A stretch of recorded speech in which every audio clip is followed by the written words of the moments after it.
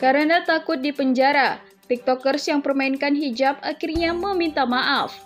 Baru-baru ini media sosial dihebohkan dengan seorang TikTokers yang sempat viral karena permainkan hijab dengan cara membuat konten mengenakan hijab namun ia membuka kancing bajunya.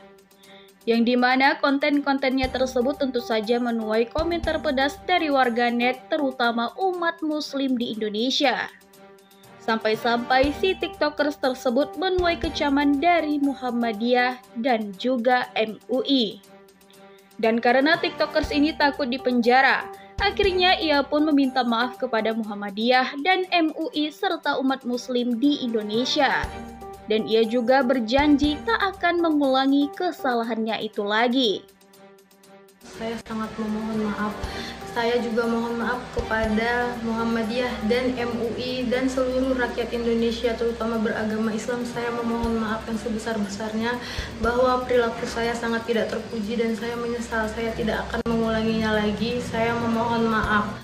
Bikin klarifikasi seolah jadi yang paling tersakiti. Padahal lu pelaku utamanya nggak sih Jadi nih ya guys, kan Mbak Tetong kecentet itu udah klarifikasi dan dia udah mengikuti saran gue untuk berperilaku sopan. Nah dia tuh udah klarifikasinya sopan banget karena tuh yang sopan itu biasanya aman ya kan, pintar, bagus ngikutin kata-kata gue. Cuma nih kan ya klarifikasinya tuh lihat tuh sopan banget tertutup pakai gelang Hermes lagi.